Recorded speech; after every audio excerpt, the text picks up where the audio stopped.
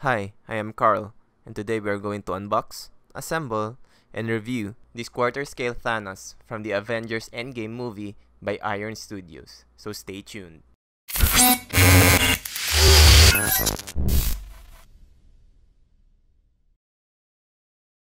Just so you guys know, this is the very first license piece that I have pre-ordered, and it is also the first license piece that I will be reviewing here. My forwarder actually received this piece last March 4, but it took 71 days to get here in the Philippines. Anyway, I'm so psyched about this piece, because I'm an avid Thanos fan, and I really love MCU movies. So let's talk more about Thanos.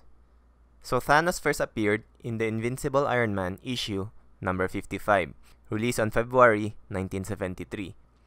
Thanos went a lot of changes in appearance in the comics. Although the movie was not comic accurate, armor-wise and maybe the anatomy, but he is still a badass either way.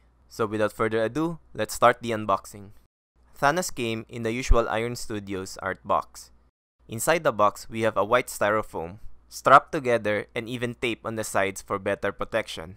Good job, Iron Studios. On the first layer, we have Thanos himself without the head. He sort of came in one piece, but there are removable pieces in his body already that I will be discussing later. Everything's well secured. Iron Studios made sure nothing is moving while it's being transported. His upper armor is heavily wrapped as you can see. Next, we have his blade, and it's quite long. On the second layer, we have his left arm switch out. Next, we have his right arm with the Iron Gauntlet switch out. We have the Infinity Gauntlet which will be attached to the left arm. By the way, these are the deluxe switch outs. The standard pieces are already attached in his body while in the package. We have the first portrait, another deluxe switch out, and the second deluxe portrait switch out. The last portrait, which is the standard portrait. And finally, we have the base. And I got number 290. Before we start the assembly, I wanted to show you how I remove all the parts from his body first, since some parts are already attached while in the box. First, we're going to remove the front or upper plate. Then, we can remove the back plate. Lastly, both his arms. Now, it's time to assemble Thanos. First, we align the right foot to the peg and keyhole on the base. Should be pretty easy. Left foot should sit flush on the rocks on the other side we must insert both arms before inserting the front and back plate to avoid accidents. After which, we can insert the back plate, then the front plate. Next, we can insert the portrait. The magnet should align itself easily. For the weapon, you can easily insert it to the right arm. Magnet should assist you. And be sure the weapon does not hit the base. To change the arms, we must undo everything we did, starting by removing the head, then the front plate, and finally the back plate. So we can finally remove both arms. Now, we can insert the deluxe switch outs. We can easily connect the right arm, then the left arm, and finally the infinity gauntlet. And we are done. Let's look deeper into this quarter scale statue. So this is obviously a museum pose, with Thanos simply standing on a pile of rocks. Base is very simple, it's a pile of broken concrete where Thanos is standing. Some grass here and there, but totally looks like moss. You can see some iron rods sticking out. Be very careful not to break them since they are not removable. But I kinda like it though, that they are already in the base. Less time trying to figure out which rod goes to where. Am I right? Now Thanos' lower or boots looks really good. Paint is really great. This black area looks like it's made out of real leather. It has some little dirt on it. Sculpt is really good. It has a lot of detail and a lot of weathering all throughout. Now, onto his legs. The armor is consistently sculpted from his boots up to his legs. Still a lot of weathering. Really shows that Thanos conquered a lot of enemies before facing the Avengers. The black leather looks really good. There's a lot more dirt compared to his boots. Paint and sculpt is excellent. Up to his torso, the sculpt is still very consistent, as well as the paint. At first, I thought the purple skin tone was a little light based on photos, but when you actually see it in person, you can see that it's really what Thanos is in the movie. A lot of weathering and dirt on his armor, front and back. So, the first hand switch out is the one with the weapon. You can see the paint and sculpt is very consistent. The weapon also has a lot of weathering and damages. Clearly Thanos did fight a lot of enemies with this weapon. The hand does look that it's glued together. Issues with molding probably. Mine even has a hole on top. The paint where the weapon hits the hand looks ugly. But you and I gotta live with it.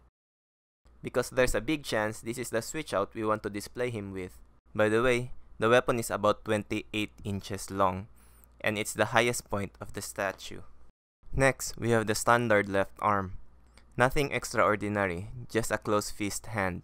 Came in one piece, paint and sculpt is consistent, molding is way way better than the right arm with the weapon.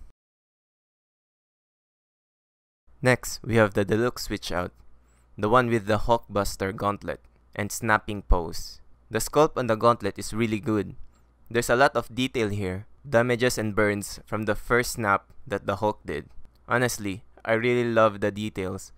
Paint is really good. You can really feel that the gauntlet was burned or was damaged by the first snap. Finally, we have the Infinity Gauntlet switch out. Again, sculpt and paint is really good. A lot of details on the gauntlet. This is almost perfect. Iron Studios did not provide a device or gadget that would make the gems light up. You have to purchase a small flashlight separately to make them glow. For a 1200 US dollar statue, they should have included it. Overall, it's as good as the Hulkbuster gauntlet. Would probably look weird if you displayed them together though. For the first portrait, we have the standard one. Paint and sculpt on the armor is consistent from the rest of his body. A lot of weathering all throughout. His face here is very simple. Not smiling or angry looking, just a simple museum portrait. Paint on his eyes are excellent, but the left eye does look a little smaller than the right one. Looks kinda weird to me.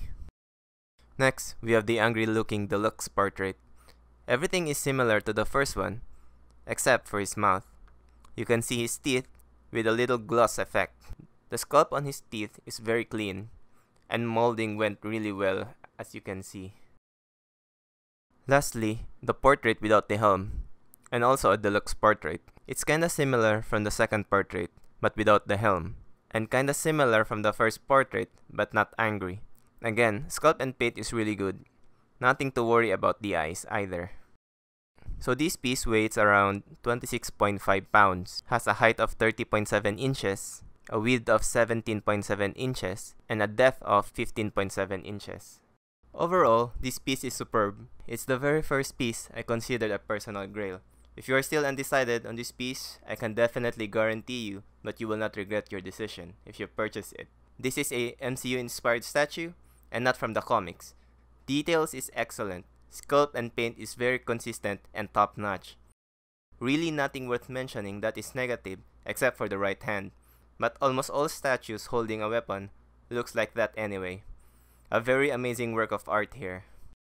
I also want to share to you guys some of my Thanos pre-orders.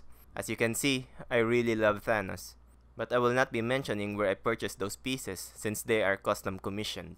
Thanks for watching! Hope you enjoyed the video. Tell me what you think of this MCU inspired Thanos in the comments below. Please subscribe to our channel for future content like this.